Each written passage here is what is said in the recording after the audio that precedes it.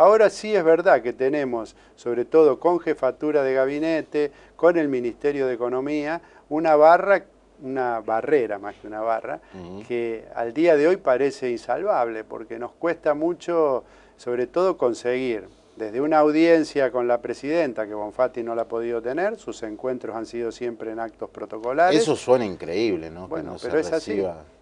Y además, bueno, nos, están faltando algunas señales para, para conseguir financiamiento.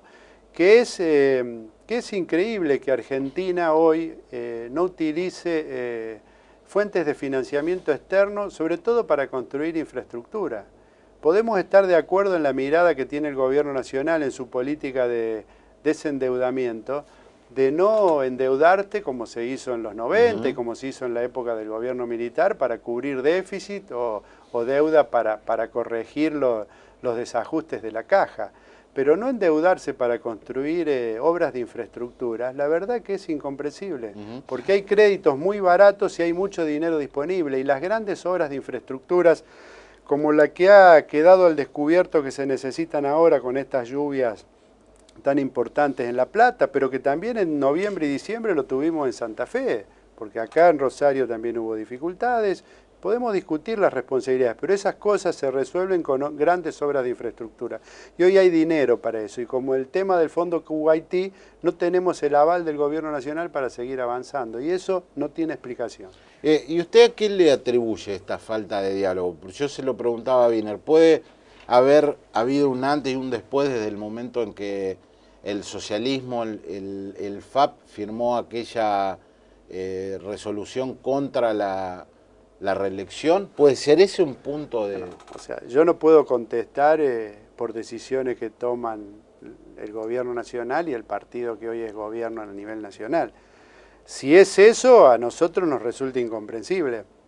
Porque, insisto, eh, muchos nos dicen extraoficialmente, bueno, pero Wiener es muy crítico. pero son dos planos. Digo, mm. Wiener hoy es un dirigente opositor que en los próximos meses se someterá a la consideración de los santafesinos y ellos decidirán, yo estoy convencido que va a ser una gran elección y que va a ganar, pero en definitiva van a ser los santafesinos si quieren que Wiener los represente con esas adhesiones o no. El gobierno nacional tiene que entender que el gobierno de Santa Fe, con Bonfatti a la cabeza, hoy no representa un partido, sino representa a todos los santafesinos. Y tiene que trabajar con este gobierno para resolver los problemas de los santafesinos. Habrá otro momento para el debate y habrá dirigentes que desde su lugar, porque hoy Wiener no tiene ningún cargo de alta representación, podrán decir lo que quieran, pero no castigar a toda una provincia por la posición de alguno de sus dirigentes.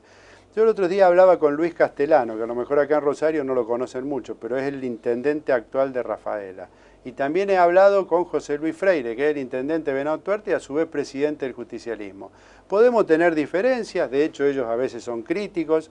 Perotti, que es diputado nacional, es muy crítico de nuestro gobierno, pero no por eso dejamos de, como gobierno provincial, de cumplir con los rafaelinos, porque, digo, institucionalmente tenemos una responsabilidad que no podemos mezclar con posiciones partidarias, no políticas, partidarias.